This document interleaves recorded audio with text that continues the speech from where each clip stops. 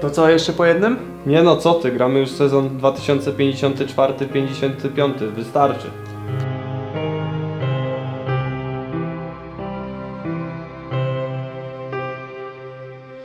Mocno podkręcona piłka, uwaga! 2-0! Stały fragment gry! Tu są dopiero prawdziwe emocje.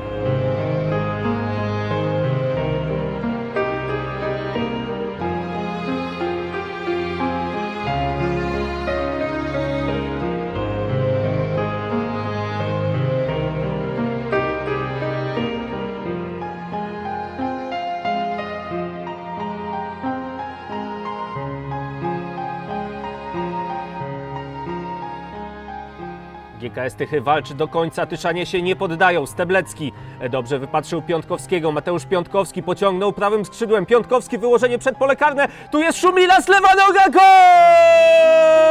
Wojciech Szumilas i mamy bramkę dla Tyszan. Kapitalne uderzenie wychowanka tyskiego klubu i gol, który y, tutaj daje nowe nadzieje y, kibicom GKS-u Tychy.